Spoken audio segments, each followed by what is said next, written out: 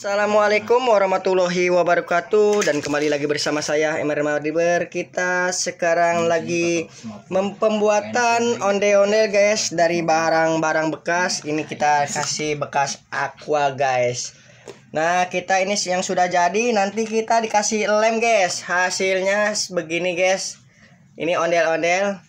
dari barang bekas dari aqua. Kita dikasih tempelan bahan-bahan yang warna-warni guys dan kita sediain lem lilinya guys. Sama bahan panel nah bahan panelnya begini guys. Warni nah kita tinggal tempel di sini sudah jadi onde-onde guys.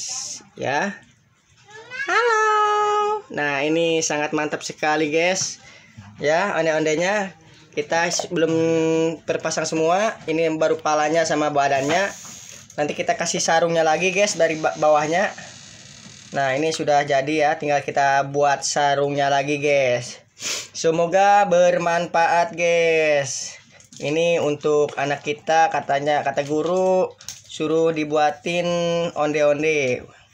Ondel-ondel.